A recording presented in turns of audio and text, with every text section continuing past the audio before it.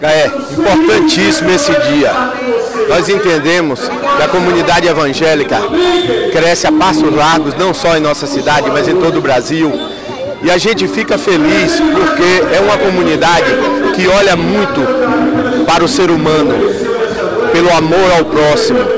Então, isso nós precisamos exaltar, isso nós precisamos falar e deixar registrado em todos os anais a importância que tem a comunidade evangélica numa cidade, num estado e num país.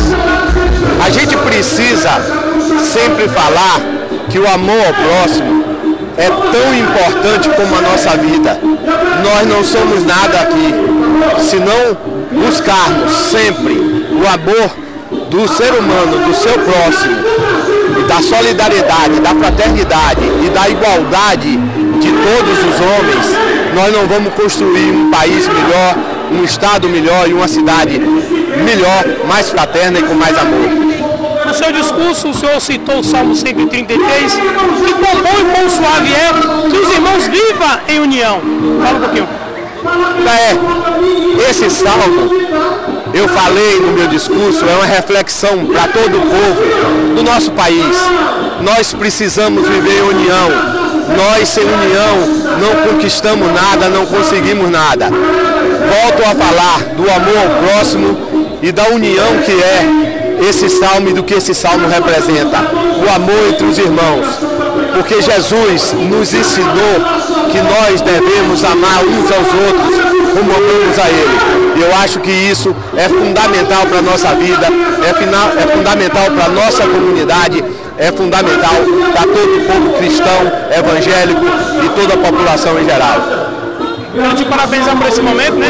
Sua primeira vez aqui como vice-prefeito, já que não teve outros momentos devido à pandemia, mas você veio aqui marcar sua presença e parabenizar o povo evangélico nesse dia.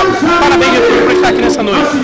É, muito obrigado por essa oportunidade que você me dá. Como você falou, eu nunca participei, eu nunca fui da vida política, fui uma pessoa que sempre fui do trabalho e não participava dos eventos políticos, mas a gente entende que a política muda a vida das pessoas, muda a vida da comunidade, muda a vida do seu povo. E nós, agora como gestores, nós precisamos solidificar isso, nós precisamos falar a todos os cantos o quanto é bom fazer a política, a política decente, a política correta e a política do amor ao próximo.